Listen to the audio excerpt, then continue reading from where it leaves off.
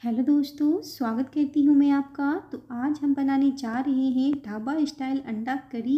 ये खाने में बहुत ही टेस्टी बनता है, स्वादिष्ट होता है। तो चलिए शुरू करती हैं। तो अंडा करी बनाने के लिए सबसे पहले हम ग्रेवी तैयार करेंगे। तो ग्रेवी तैयार करने के लिए मैंने एक पैन में तीन से चार चम्मच सोयाबीन ऑयल डाल दिया है। तेल जैसे ही गर्म हो जाएगा। तीन बड़े साइज़ का रफली चॉप किया हुआ हम प्याज डालेंगे।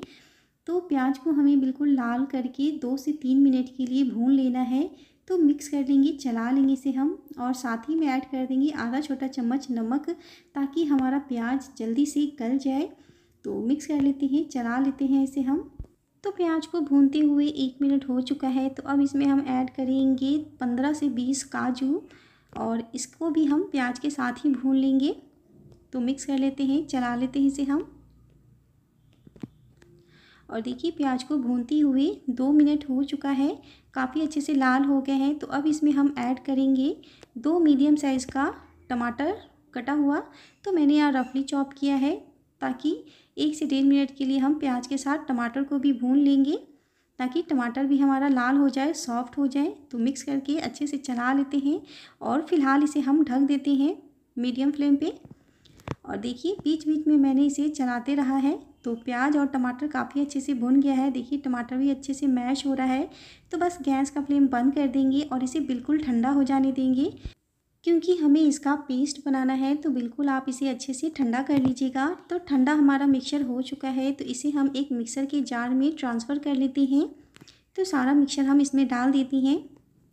और थोड़ा सा इसमें हम पानी डाल लेंगे ताकि ये अच्छे से ग्राइंड हो जाए। तो बस हमें इसका एक पेस्ट बना लेना है। और देखिए, मैंने इसका पेस्ट बनाकर रेडी कर लिया है तो काफ़ी स्मूथ पेस्ट हो गया है। तो चलिए अब हम अंडा बनाना शुरू करती हैं। तो फिर से मैंने गैस पे एक पैन रख दिया है। तीन से चार चम्मच हम डाल देंगे सोयाबीन ऑयल। तो तेल को गर्म हो जाने देंगे। अंडा मैंने पहले ही बॉईल करके इसमें कट लगा लिया है। और बस अंडा हम इसमें डाल देते हैं। और अंडे को हमें दो से तीन मिनट के लिए मीडियम टू हाई फ्लेम पे लाल करके भून लेना है। अगर आप चाहे तो अंडे को डीप फ्राई भी कर सकते हैं। तो मैं इसे बस इसी तरीके से शेलो फ्राई कर रही हूँ। तो चला लेते हैं इसे हम। और अंडा में हमें फ्रेंड्स ना हल्दी का पाउडर हमें मिक्स करना है, ना ही हमें लाल मिर्च का पाउडर।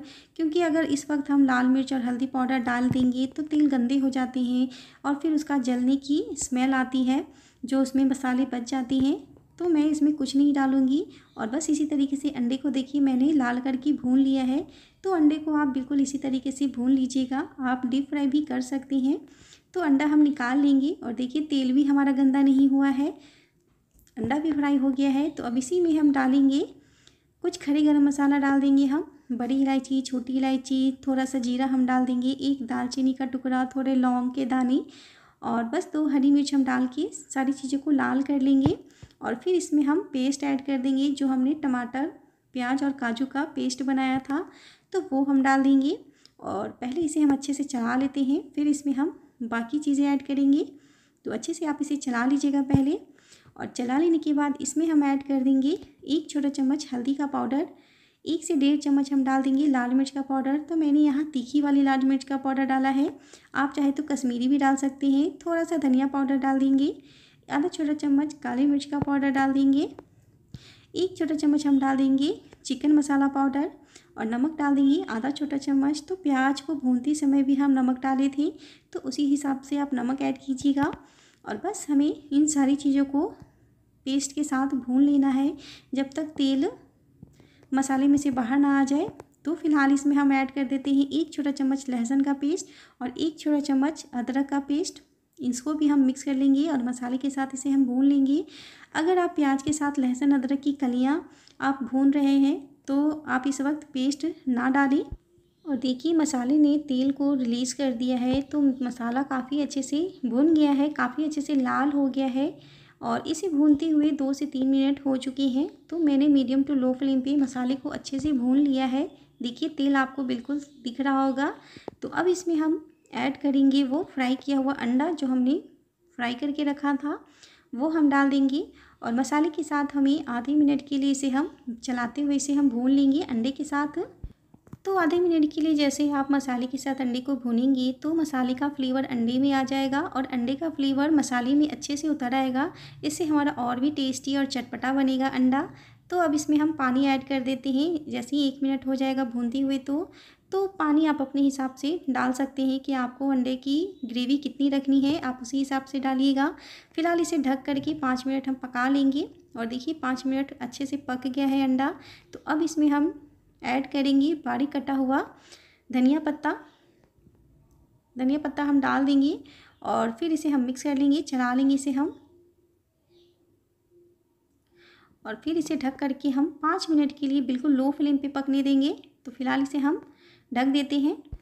और देखिए, अंडे को पकते हुए पाँच मिनट और हो चुके हैं। तो अंडा काफ़ी अच्छे से बनकर तैयार हो गया है। बहुत अच्छी खुशबू आ रही है। देखिए, आप इसकी ग्रेवी देख सकते हैं। बहुत ही टेस्टी और यमी रेसिपी है। अंडे का तो अंडा तो आपने कई बार कई तरीके से बनाए होंगे, लेकिन एक बार आप इस तरीके से अंडा बनाइएगा, आपको बहुत ही पसंद आएगा। तो मैंने यहाँ गैस का फ्लेम बंद कर दिया है और चलिए इसे हम सर्व कर लेते हैं।